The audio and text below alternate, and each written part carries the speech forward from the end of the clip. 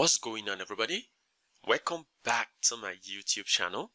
We have this nice and beautiful question on the board that says find the values of x that satisfies the square root of 16 minus x squared plus the square root of 9 minus x squared equal to 5. Our first step will be for us to move the square root of 9 minus x squared to the right hand side so that we have the square roots of 16 minus x squared remaining on the left to be equal to, we have 5 and as this crosses it becomes minus the square root of 9 minus x squared. Now to get rid of this square root we have to take the square of both sides. So I'll square the left hand side, I'll also square the right hand side. Now this square cancels out the square root, leaving behind 16 minus x squared to be equal to, now the right hand side is of the form a minus b all squared, which can be expanded as a squared minus 2ab plus b squared. Now let's expand this like this. So this 5 is like RA and the square root of 9 minus x squared is, our, is like RB.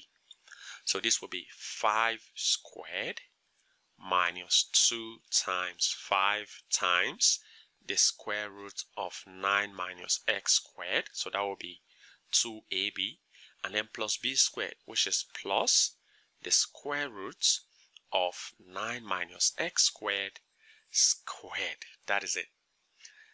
Now Simplifying further, we have 16 minus x squared to be equal to 5 squared is 25 minus 2 times 5 times the square root of 9 minus x squared will give 10 times the square root of 9 minus x squared.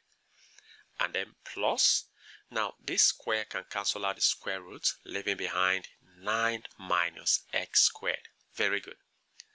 Now simplifying further, we have 16 minus x squared on the left to be equal to, now 25 plus 9 is 34, and then minus 10 times the square root of 9 minus x squared, and then minus x squared.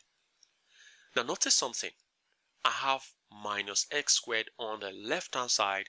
I also have minus x squared on the right hand side, which can definitely cancel out, leaving 16 to be equal to 34 minus 10 times the square root of 9 minus x squared. Now let's move 34 to the left hand side so that we have 16. As 34 crosses, and becomes minus 34 and this is equal to now leaving negative 10 times the square root of 9 minus x squared on the right hand side. And 16 minus 34 is negative 18 this is equal to negative 10 times the square root of 9 minus x squared. Now let's divide both sides by negative 10 so I'll divide the left by negative 10. I'll divide the right by negative 10. So this negative can cancel out. Now 2 can divide. 18 divided by 2 is 9. 10 divided by 2 is 5. So we have 9 over 5 on the left to be equal to negative 10 can cancel out negative 10. So we are left with the square root of 9 minus x squared. Very good. Now our next step will be for us to get rid of the square roots by taking the square of both sides. So I'll take the square of the left hand side, the right hand side, and I'll take the square of the left hand side.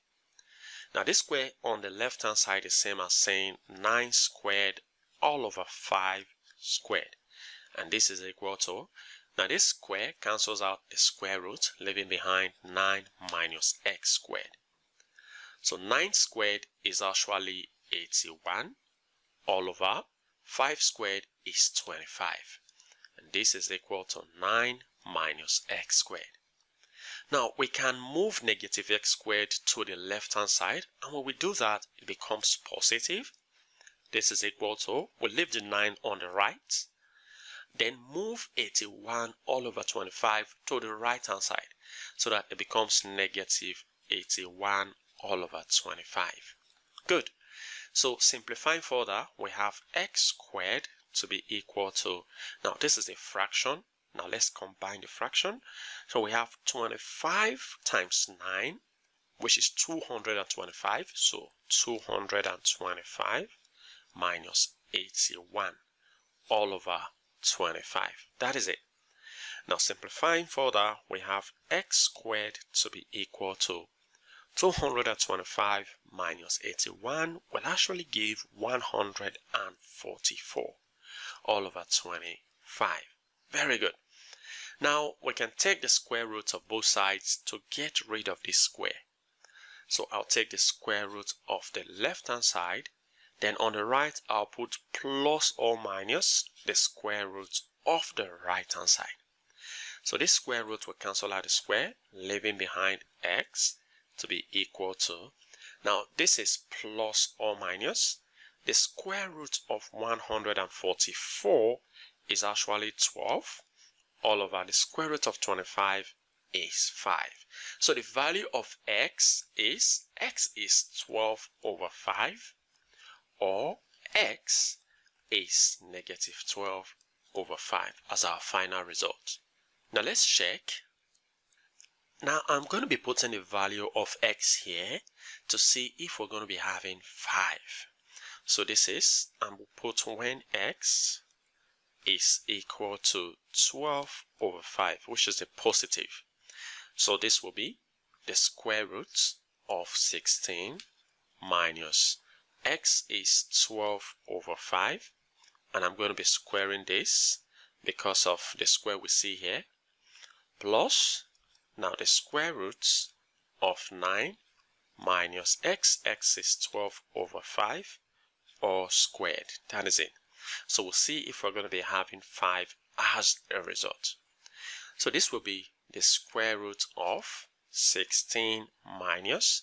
Now, there is something we need to see here. Remember, x is plus or minus. And when I put a positive here, when I square, I have 144 all over 25. And when I also put in negative, you see that since the power is even, I'll still arrive at the same value. That is it. So plus the square roots of 9 minus, so this I'll have 144 all over 25. That is it. And let's not forget to put our 5 here because that is what we want to check if we're going to get. So this becomes the square root of, let's combine the fraction. 25 times 16 is 400 minus 144, that will be 256 all over the denominator is 25 plus the square root of now let's combine the fraction here as well 25 times 9 is 225 minus 144 that will be 81 so 81 all over the denominator is 25 so we're checking if we're going to be having 5 now simplifying what we have here this will be the square root of 256 is 16 all over the square root of 25 is 5 plus now the square root of 81 is 9 all over the square root of 25 is 5 now we're going to check if we're going to be having 5 now let's combine the fraction. We have a common denominator of 5 now we add the numerator 16 plus 9 which will give 25 and we all know that 25 divided by 5 is 5 which is equal to the right hand side. So we have it. Well feel free to share your ideas in the comment section below. And if you enjoyed this video and have learned something from this video go ahead and give this video a thumbs up. Subscribe if you haven't. Turn on the notification bell so you don't miss my upcoming videos. And like I always say, until next time, take care.